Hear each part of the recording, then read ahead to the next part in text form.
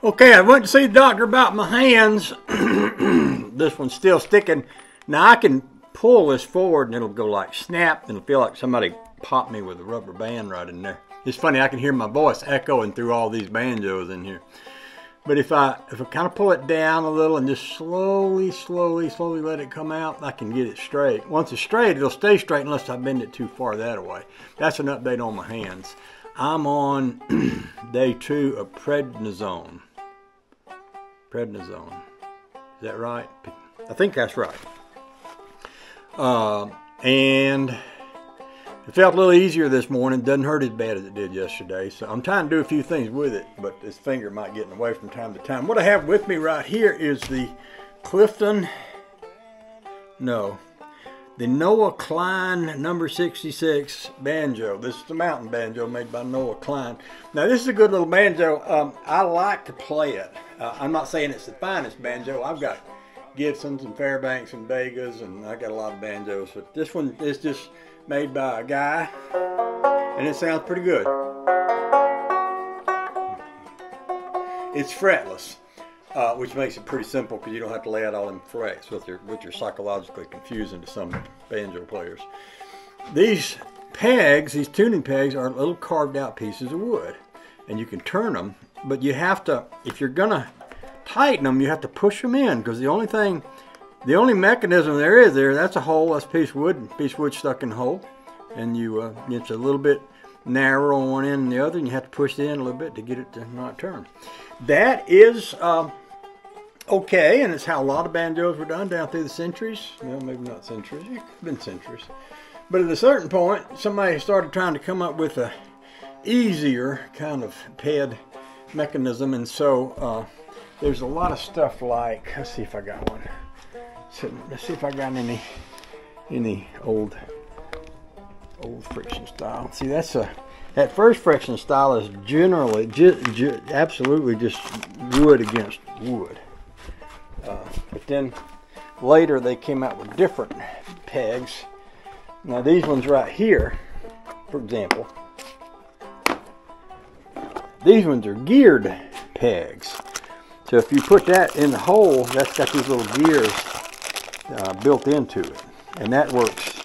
That works good, but it's heavyish, and I wouldn't really want any of that heavy on that banjo. I'd rather have something else. Now this is the fifth string peg right here. I might use that one right there. Uh, but we also have uh, pegs that are friction pegs, but it's not it's not um, friction against wood. It's not wood against wood. It's it's a peg that's made to be installed. Let me turn you all around this way. See, this is an old style friction peg like off a violin. This was this is ebony, which is a really good hard wood.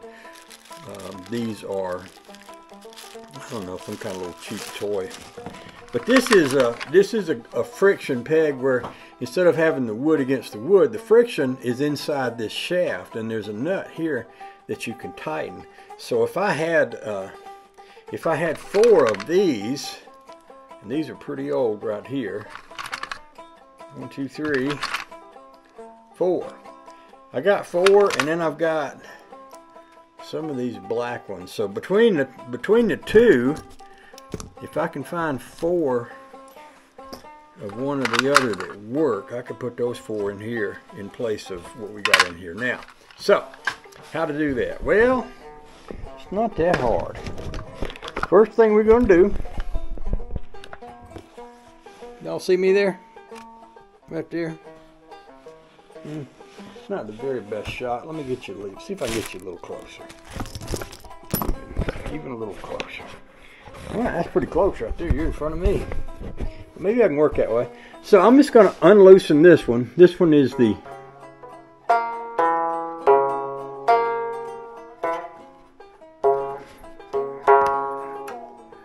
So that's the fourth string right there. So I'm just going to take it off of there. There. And now, I'm, I'm just going to let that scooch over yonder ways. And I'm going to take this apart. Now see, this is this is cracked right here, but that might still work. We'll see. I might have to replace that with one of these others. But we'll see. The way this works is that, see this part, two washers there. I want one on each side. This part going here, and then this part will go down here. We'll see if we can get that to go inside there. Yeah, and then we put this part in here. And then we turn this screw right here. Little screwdriver. I think I got one in my Leatherman. Here's one. I don't know if this one's little enough. We're gonna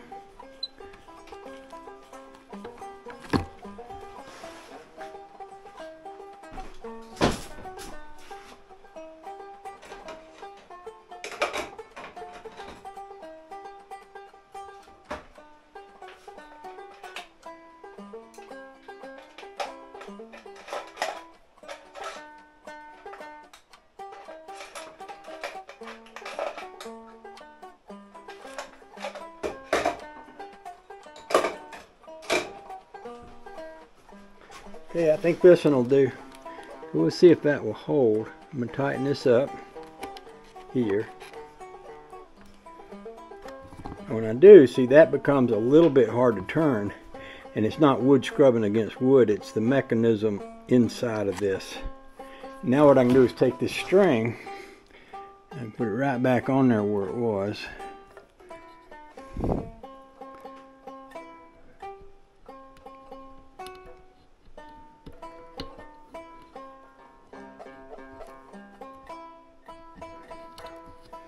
Just like that. And I'm just going to turn this and okay. You notice this is turning and this ain't? So so something ain't making connection in there. So it could be that this neck here is too too fat for this peg. It might be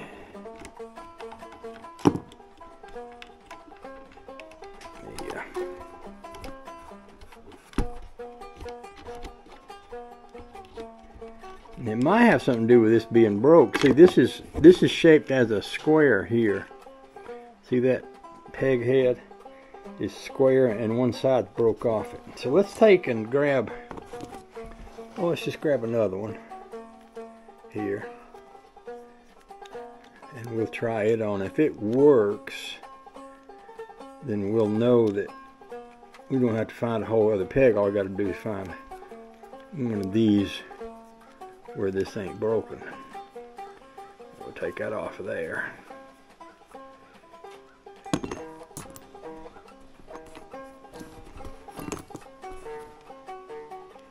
Well, that one's broke a little bit too. Looky there. It might not work neither. I don't think it will. So, I think what it is is this hole from here to there is too this needs to be narrower for that one to work.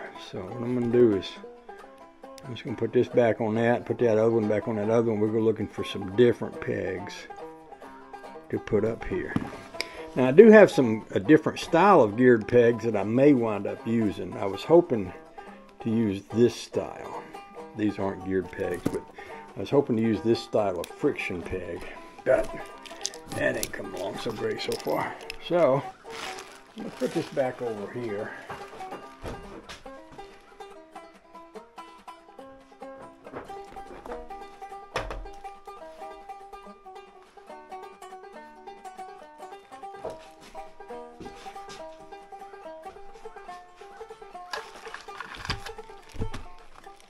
See what else we find.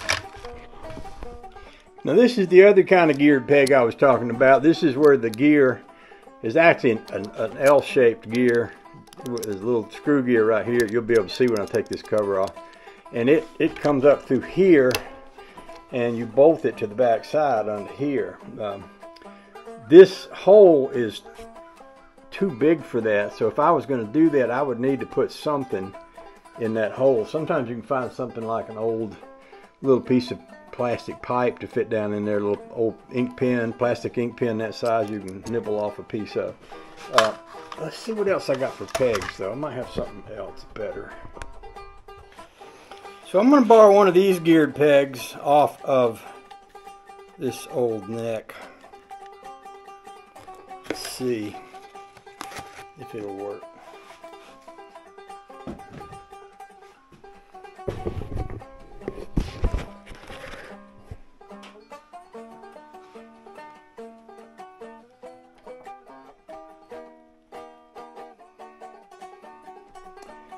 So those will not fit the hole.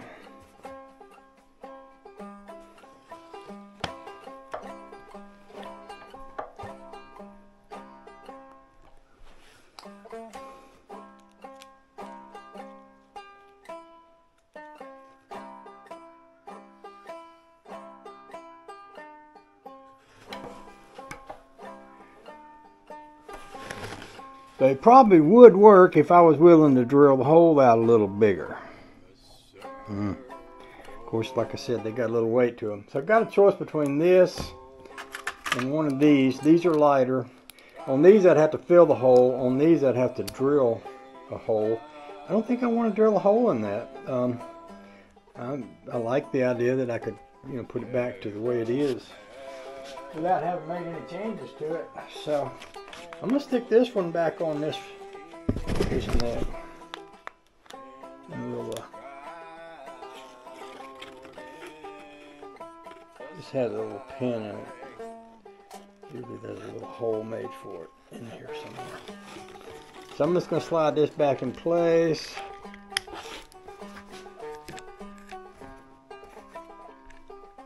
Oh yeah, might not hurt if I didn't put it on upside down, eh? That'd be just like me. Old 63 Impala Chevy. Um, 60, uh, what's his name? Waylon Wire. Waylon Wire. He'd be laughing at me if he saw me put that on backwards. He'd he'd make a he'd make a little special video. He'd go har har har. Look at RP putting his neck hickey on backwards. Yeah, he would. That's hot. We pick on each other though. It reminds us that we're still alive. Okay. What other option do I have? Well, I seem to recall seeing that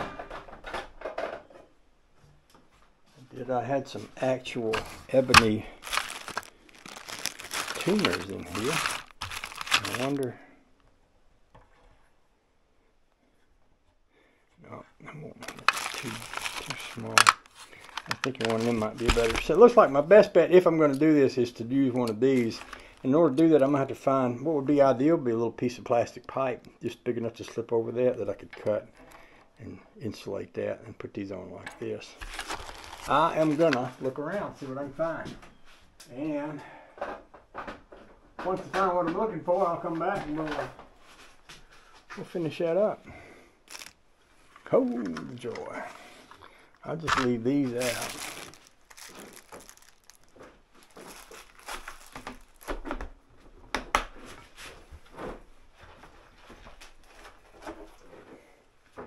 I guess if I hadn't disabled that banjo, I could do a little, a little play. Um, I, I did play. I think I told you I got, I'm on like my second day of pro, pro project pro zone something. Uh, but I was able to play a little banjo this morning, even with my bad finger. But I didn't play much. I got a banjo here it would be, we could try it. That's one of them big old Johnny, one of them long neck Johnny Hartford banjos.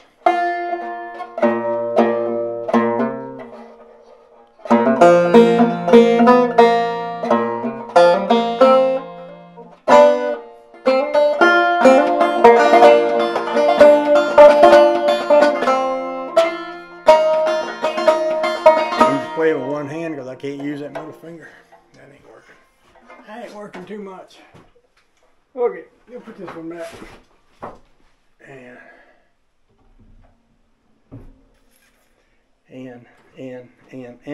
to you later. Happy trails. I guess I could give you a little update on this building that I've been working on. While my hands was bad, I put that floor down there because that felt mostly like work I could do without having without hurting my hands. uh, I've been I've been designing in my head a building a roof and how I want the roof to go, whether I want to go like this or like this or like this, you know thinking about a lot of different possibilities. I've got some, uh, yeah, I've got some, I've got some things I could use for a roof, but I'm gonna have to think on it.